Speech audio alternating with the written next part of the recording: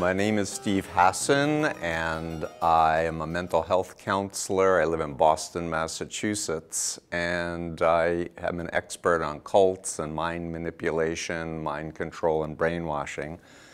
I got interested in the subject uh, after my own cult experience. I was recruited at college into a friend group of the Moonies cult, the Unification Church uh, and dropped out of college, quit my job, donated my bank account, uh, cut off from my family and friends because I thought they were Satan, thought the world was coming to an end in 1977, there would be Armageddon, and had a radical personality change where I was no longer Steve Hassan, son of my parents with my sisters, but Steve Hassan, son of the Messiah and his wife, and that I should speak Korean and Korea would be the chosen nation of the world. In any case, I fell asleep at the wheel of a van. I drove into the back of a tractor trailer truck at 80 miles an hour, uh, broke my leg, hurt my other leg, and called my sister in the hospital. And she arranged basically with my parents to do a deprogramming intervention with me which I did not want to leave the group. I was happy in the group, uh, believed that I was saving the world and bringing everyone to God. And during my intervention with the former members, I came to learn what brainwashing was, particularly Chinese communist brainwashing. And as I thought about the explanations, I thought about uh, Adolf Hitler, the Nazis, and I come from a Jewish family, educated about the Holocaust. It struck me very deeply when I finally woke up that I really had been mind controlled, that I had a radical change in my beliefs and my, even my, my memories of my childhood had been changed. And so it began a journey, and now it's 36 years later, almost 37 years later, and I've helped thousands of people all over the world. I've written several books on the subject. Freedom of Mind is the latest of my works to bring attention to this important subject about how the mind works and how influence can be used unethically to, in some cases, use hypnosis to create sleep deprivation.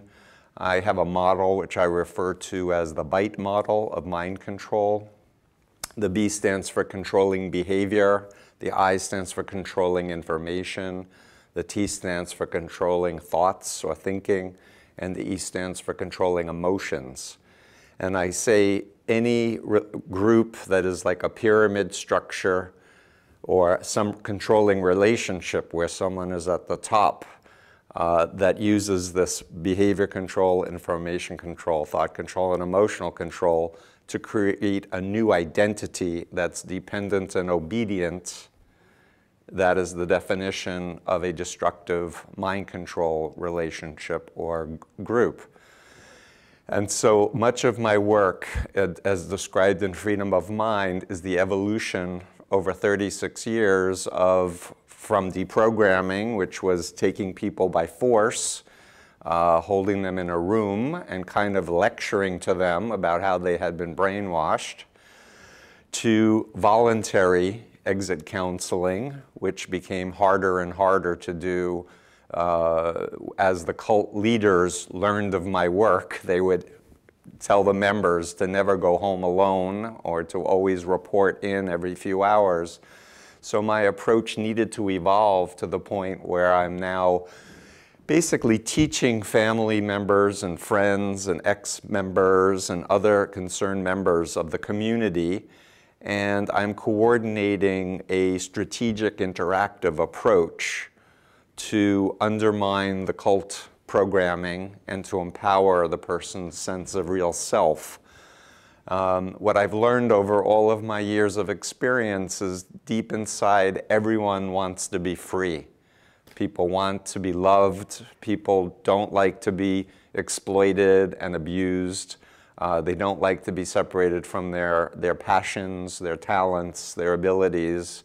They don't like to be controlled through fear and shame and guilt. So my method is really very love-based, but also very ethical influence-based.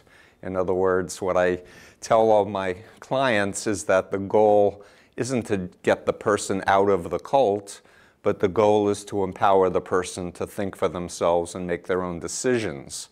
So there's no sense of just substituting another control force.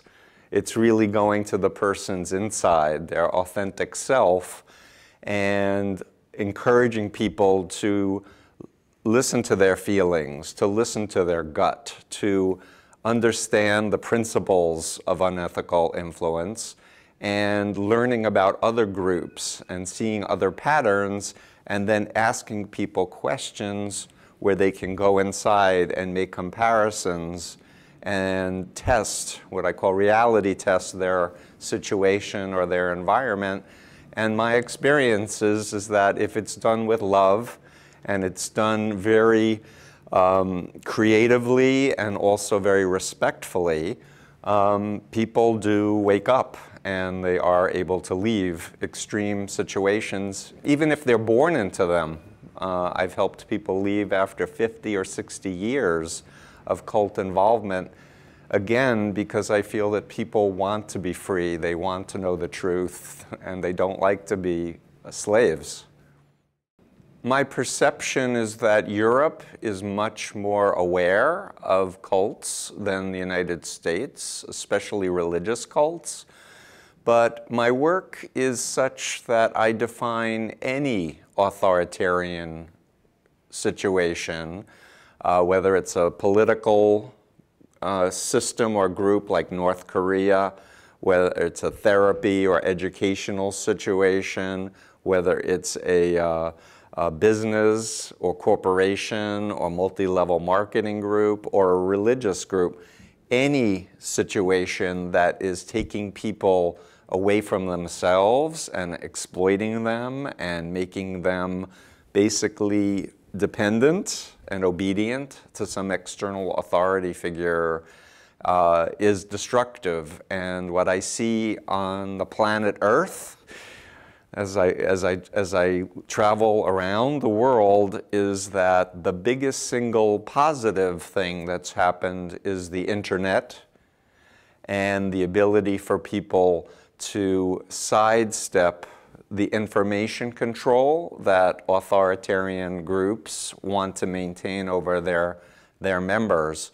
So it's fascinating, but since 1995 or so, uh, former members can go create a website, talk about their group, and if someone is researching a group, thinking before they join it, if they make a good do re good research, they can often prevent even getting involved with a bad group. But what's happening now in 2013-14 is that the big groups that have a lot of money are manipulating the internet and manipulating the search engines and making it harder and suing former members who are putting up information. So it's a cat and mouse game that's happening. Um, but the, the most important thing for people to be free is to have the ability to have information from different perspectives and to have the trust and the analytic skills to be able to assess who's telling the truth or not. And my position is that if a group or a person is legitimate, they will stand up to investigation and scrutiny. And so uh, ultimately, people need to be empowered to be global citizens and to realize that we need to be thinking in the long term for a future where we're respecting one another, even if we have different religious beliefs or different political beliefs, but to find solutions how we can live together on planet Earth and not maintain this culture of uh, black and white us versus them, good versus evil, and the, the dehumanization of what the leaders say are the enemy. We need to realize even if people are living in North Korea and their leaders are threatening to drop a nuclear bomb, it doesn't make North Koreans bad people. It means they're in a corrupt totalitarian system. And just like totalistic religious groups, the people inside should not be treated poorly. They should be treated with love and respect and encouraged to think for themselves.